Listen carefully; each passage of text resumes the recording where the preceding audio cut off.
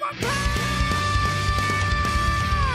Hola, soy Bash y hola amigos, bienvenidos una vez más a nuestro canal. Y bueno, el día de hoy, como ya es costumbre en el canal, les traigo la review del capítulo 245 del redibujo del manga de One Punch Man. Así es, tuvimos que esperar un mes para el regreso de los redibujos y lamentablemente en este capítulo la verdad es que no es que hayan cambiado muchas cosas, aunque sí hay una que otra que valen la pena, eso es lo que debo reconocer, ya que básicamente lo que veremos en este episodio es una vez más la llegada de Void del vacío, para poner contra las cuerdas a Sonic y Flash Flash, terminando igual que el manga original, con Flash y Flash y Sonic a punto de recibir el poder de Dios. Pero vamos a ver qué es lo que sucede con estos dos. Y bueno, ya con esto dicho, ahora sí, sin nada más por añadir, comencemos de una vez. Y el capítulo 245 está titulado Vacío, haciendo referencia precisamente a la llegada en este episodio del mismísimo Void del Vacío. Y bueno, ahora sí, comenzando con la portada, como dije, hay cosas que valen la pena realmente en este episodio, y una de ellas claramente es la portada, ya que sí en esta ocasión Murata nos deleita con la capitana Mizuki en la portada, mientras se nos dice prepárate para saltar a alturas aún mayores. Que si la capitana Mizuki sale en este episodio, claro que no. Que si será relevante en la trama próximamente, pues tampoco. Pero bueno, eso realmente no es lo que importa. Lo que importa es tener una vez más a la capitana Mizuki dibujada por Murata. La verdad es que sin duda alguna de las mejores waifus de One Punch Man. Además ya se vienen las olimpiadas, así que bueno, esa podría ser una de las razones. De cualquier manera me encantó la portada 10 de 10. Y ahora sí comenzamos con el episodio. Como recordaremos en el capítulo anterior, gracias al trabajo en equipo de Sonic y Flash y Flash pudieron acabar con los ninjas celestiales sin mucho problema, demostrando ambos sus increíbles capacidades y trabajo en equipo. De esta manera comenzamos el episodio con Sonic analizando lo que acaba de pasar, diciendo, siendo honesto pensé que me había vuelto mucho más fuerte por luchar repetidamente contra Saitama, pero el crecimiento de Flash también superó mis expectativas, aunque obviamente no es tan bueno como yo. Y bueno, una de las más grandes diferencias que tenemos en esto es que como ya había mencionado antes, en el redibujo Sonic ha quedado mucho mejor parado. Es decir, este mensaje que él nos da de que todavía se considera más fuerte que Flash y Flash tiene un poco de sentido, debido a que no lo humillaron tanto como en la versión original, en donde Sonic no tenía más que reconocer que Flash y Flash era muy superior a él. De cualquier manera observamos como Sonic se pregunta contra qué clase de tipo se ha enfrentado desde que se convirtió en un héroe, observando una pose realmente espectacular de Flashy Flash. Debo reconocer que Flashy tiene bastante estilo, además de que se nos muestra precisamente los rivales que ha tenido y por los cuales ha alcanzado un nivel tan alto. Es decir, gracias a enfrentar personajes mucho más fuertes que tú, es que finalmente tu nivel puede ir subiendo, debido a que precisamente esto te permite saber que tu límite todavía está muy lejos y que si quieres equipararte a los más fuertes tienes que seguir creciendo. Y bueno, dentro de estos rivales que Flashy Flash enfrentó se encuentran el mismísimo Platinum Sperm, Garou Monstruo y el mismísimo Saitama. Así es, hay que reconocer que Flashy Flash ha peleado contra los mejores, ha perdido eso sí, pero bueno, ha peleado contra ellos. De cualquier manera, una vez que se nos da este comentario, ahora sí continuamos con la situación, ya que el que parece ser el líder de los ninjas celestiales comienza a hablar diciendo, impresionante, supongo que después de todo solo estaban fingiendo Flashy Flash, ¿por qué nos traicionaste? De esta forma el que responde es el mismísimo Sonic diciendo porque es un egoísta, a lo que este tipo continúa diciendo, pero tú no eres nada comparado con este hombre. Su fuerza es como si pudiera desatar infinitamente un ninjutsu muy poderoso, parecido al genjutsu. Incluso si lo atacáramos en grupo ni siquiera podríamos hacerle frente. Ante este comentario Sonic simplemente responde, no estás bajo la influencia de las drogas o algo así, seguramente eso facilita que les laven el cerebro en la aldea. Pero bueno, uno de los comentarios que hay que tomar en cuenta es que se nos confirma una vez más gracias a este tipo que al parecer el genjutsu será una de las habilidades principales de Void del Vacío, aunque debo decir que justamente aquí es donde se nos presenta una de las más grandes diferencias con la versión original, es decir la entrada de Void del Vacío, ya que debo decir que la versión original era totalmente espectacular y choqueante, ya que vimos como Void del Vacío prácticamente devoraba las entrañas de los ninjas celestiales, obviamente todo siendo un genjutsu, pero en este caso que ya será la versión original, tenemos una entrada muy diferente, si me lo preguntan a mí la versión original me parecía mucho más intensa. Pero bueno, de cualquier forma continuemos con la historia, ya que este ninja menciona, lo sabrás cuando lo veas, no habrá manera de que puedas escapar. Pronto te darás cuenta que morir por nuestras manos era una misericordia, a lo que Sonic rápidamente responde, ¿quién escapará? Los pequeños con mentes pobres como la tuya no lo entenderían, dirigiéndose ahora con Flash y Flash para decir, parece que ese hombre vendrá hasta aquí para cazarte Flash. De esta manera observamos ahora al mismísimo Flash y Flash, el cual tiene una cara bastante seria mientras responde, tienes razón, lo cual impacta bastante a Sonic, ya que sí parece ser que la actitud de Flash y Flash no es cualquier cosa, debido a que claramente Flashy está consciente del poder que puede liberar Void del vacío, y que no es un enemigo cualquiera, por lo que obviamente tiene que estar alerta ante la situación. De cualquier manera la conversación continúa, a lo que Sonic dice, y bien, ¿crees que él esté aquí? A lo que Flashy menciona, no hay señales de que sea así, pero es probable, quizá enviaron a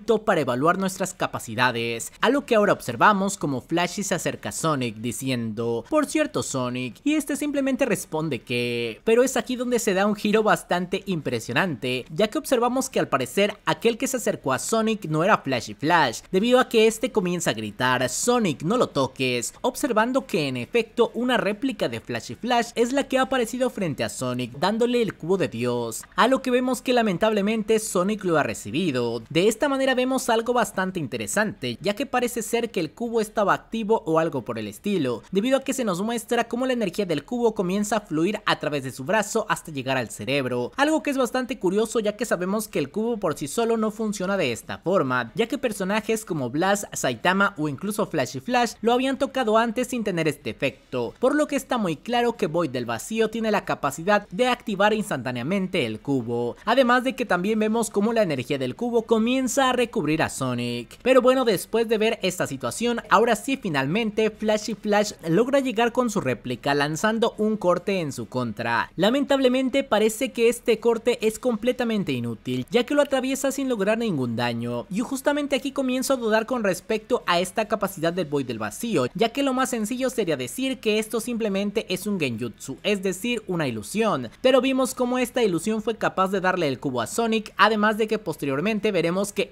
esta misma réplica empieza a atacar a Flash y Flash, por lo que directamente es bastante probable que esta sea una capacidad de Void del vacío, el hecho de ser intangible, ya sabemos que este poder no es desconocido, es decir, hay algunos personajes en diferentes historias que tienen esta capacidad, la de no ser impactados por ningún golpe físico, podemos tomar ejemplos como Mirio de Boku no Hero Academia, también Obito tenía este tipo de capacidad, o en los superhéroes Visión puede hacerlo, así que se me hace muy interesante que tal vez Void del vacío tenga esta capacidad, decir, ser intangible, directamente este podría llegar a ser un buen counter para Saitama, es decir, no importa qué tan fuerte lo golpes si no lo puedes tocar, la verdad es que también esta capacidad puede tener mucho sentido, tomando en cuenta que al parecer Void del vacío tiene la capacidad de manipular el espacio, por lo que es bastante probable que él pueda eludir estos ataques físicos, transportando los ataques que se le lanzan. Honestamente, esta habilidad de Void me llama muchísimo la atención, y es por eso que una vez más se resalta que Blast podría ser un excelente rival para él. Se llega a explorar correctamente las habilidades espaciales, creo que podríamos estar ante una de las mejores batallas de One Punch Man, pero bueno, ya veremos cómo se desarrolla todo esto, ya que ahora sí, continuando con la historia, observamos cómo Void del vacío sujeta de un brazo a Flash y Flash y se pone rápidamente en su espalda, demostrando que también tiene una velocidad muy impresionante superior a Flash y Flash, el cual como recordaremos ya de por sí estaba bastante serio. Y bueno, también en este momento se nos demuestra lo que comenté antes, es decir que Void del vacío no era una ilusión, sino que realmente parece ser que él tiene la capacidad de cambiar de forma, en este caso tomando la forma de Flash y Flash, pero es bastante probable que Void del vacío pueda tomar la forma de cualquiera. Honestamente esta habilidad me llama muchísimo la atención, ya que si la usa de manera correcta prácticamente puede camuflarse e infiltrarse en cualquier lugar. Sin duda alguna gracias a las habilidades mostradas se nos está diciendo que Void del vacío es un rival realmente difícil de enfrentar. De esta manera continuando con la situación, Flash y Flash al percatarse de que Void está en su espalda rápidamente lanza una patada, pero una vez más Void demuestra su superioridad, esquivando la patada fácilmente y después poniendo el cubo en el pecho de Flash y Flash, por lo que sí parece ser que todo ha terminado para Flashy. De esta manera tal cual como pasó con Sonic antes, observamos que el cubo comienza a emitir una gran energía la cual se dirige directamente hacia el cerebro de Flash y Flash, a lo que se observa lo que ocurre cuando eres afectado por el cubo, ya que Flash y Flash todavía alcanza a ver a Void del vacío vacío, pero poco a poco comienza a sumergirse en esta nueva ilusión, mientras que Void se aleja más y más. De esta manera ahora sí, finalmente vemos como Flash y Flash despiertan una especie de campo. Justamente esta escena es la que ya habíamos visto en el redibujo anterior, ya que Flash y Flash comienza a decir este lugar y a lo lejos ve a Sonic parado. Obviamente en este caso vemos a Flash y a Sonic de niños, mientras que Sonic le dice, por fin despiertas Flash, me alegro de haber podido escapar de la aldea contigo, por fin hemos llegado